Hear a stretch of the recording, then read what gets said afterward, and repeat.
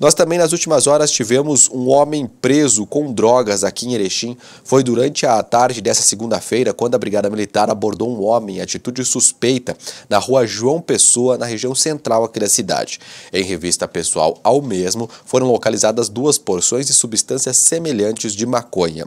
Diante dos fatos, um homem de 23 anos de idade foi ouvido, assinou um termo circunstanciado no local e logo após foi liberado.